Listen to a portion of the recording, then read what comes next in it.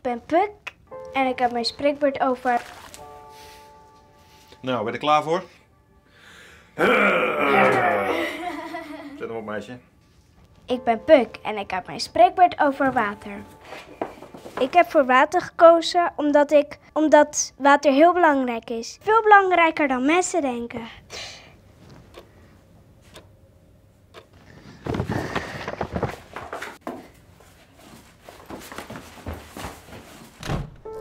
Zonder water kan er geen leven zijn op aarde.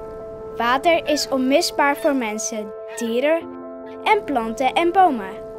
Maar met te veel water zouden we allemaal op een bootje moeten wonen. Daarom moeten we samenwerken met elkaar en met het water. We moeten zorgen dat ons water schoon is en dat er voldoende water is. We moeten sloten en beken onderhouden, zodat ze goed kunnen blijven stromen.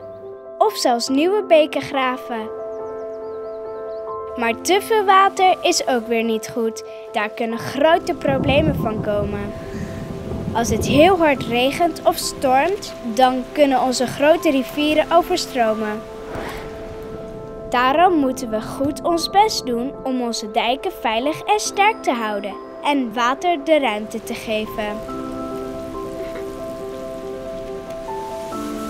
Ons klimaat is aan het veranderen. In de zomer wordt het steeds warmer en droger en in de winter regent het steeds heftiger. Daarom moeten we goed zorgen voor onze omgeving. Dat kunnen we doen door nieuwe dingen te bedenken, zoals energie maken die de natuur niet beschadigt en stof uit het water opnieuw gebruiken.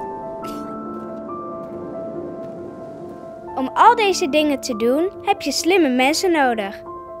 Mensen met lef, die nieuwe dingen durven te doen. Mensen zoals mijn vader.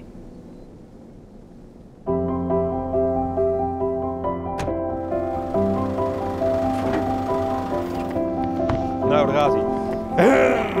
Zet hem op, hè. Daarom wil ik later met water werken. Zodat ik, net als hij, kan zorgen dat het hier net zo mooi blijft als het nu is.